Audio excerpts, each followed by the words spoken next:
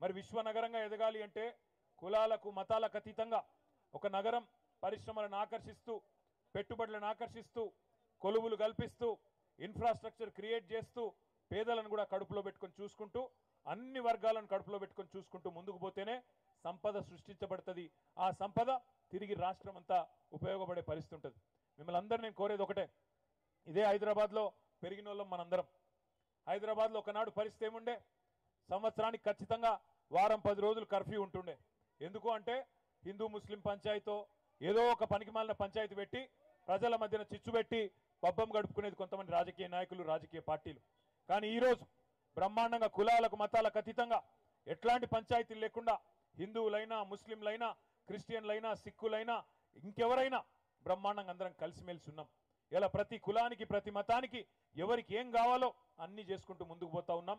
ప్రజలను ముఖ్యంగా పేదలను కడుపులో పెట్టుకొని చూసుకుంటా ఉన్నాం. ఒకవైపు నగరాన్ని ముందుకు తీసుకొని పోతూ విశ్వనగరంగా ఎదిగే క్రమంలో గట్టి పునాది వేసుకుంటూ మరొక వైపు పేదలను కూడా కడుపులో పెట్టుకొని చూసుకుంటూ పోతున్నాం. ఈ క్రమంలో మిమ్మల్ని అందరినీ కోరేది పొరపాటు చేస్తే మళ్ళీ హైదరాబాద్ మళ్ళీ ఒక వందేళ్ళు వెనుకపోయే పరిస్థితి వస్తుంది తెచ్చుకున్న తెలంగాణ ఆగమైపోయే పరిస్థితి వస్తుంది.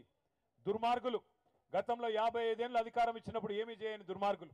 ఇవాళ హైదరాబాద్కు కేంద్రంలో ప్రభుత్వం ఉన్నా పదేళ్ళు ఏమీ చేయని అసమర్థులు ఇవాళ మళ్ళీ ఒక్కసారి వచ్చి మతం పేరు మీదనో కులం పేరు మీదనో చిచ్చు పెట్టే ప్రయత్నం చేస్తూ ఉన్నారు. మంచిగా బ్రహ్మాండంగా ముందుకు పోతున్న మనకు కాళ్ళల్లో కట్టెలు పెట్టి అడ్డం పెట్టే ప్రయత్నం చేస్తూ ఉన్నారు. అందుకే మిమ్మల్ని అందరినీ కోరేది ఒకటే. కులాలకు మతాలకు అతీతంగా ఏ రకంగానైతే గత పదేళ్ళు పనిచేసుకుంటూ ముందుకు పోతున్నామో భవిష్యత్తులో కూడా అట్లే పోదాం. తప్పకుండా పని చేసే నాయకుడు పనికొచ్చే నాయకుడు మన ముఖ్యమంత్రి కేసీఆర్ గారిని హ్యాట్రిక్ ముఖ్యమంత్రిగా మళ్ళొకసారి అక్కడ కూర్చోబెడదాం తప్పకుండా హైదరాబాద్ అదే విధంగా తెలంగాణ భారతదేశానికి దిక్సూచిలా భారతదేశానికి ఆదర్శంగా ముందుకు తీసుకొని పోతామని చెప్పి మీకు మాటిస్తూ అభీ తక్ आपने जो देखा अभी तक इस पिछले नौ दस साल में आपने जो देखा बस एक ट्रेलर है ఆగే సినిమా ఆగే సినిమా అంటే సినిమా అంటే ఆర్టీసీ ఎక్స్ రోడ్ లో చూసేది కాదు ఆర్టీసీ ఎక్స్ రోడ్ లో చూసేది కాదు ప్రతిపక్షాలకు చూపెట్టే సినిమా రెండు వేల ఇరవై మూడులోనే ఉంది.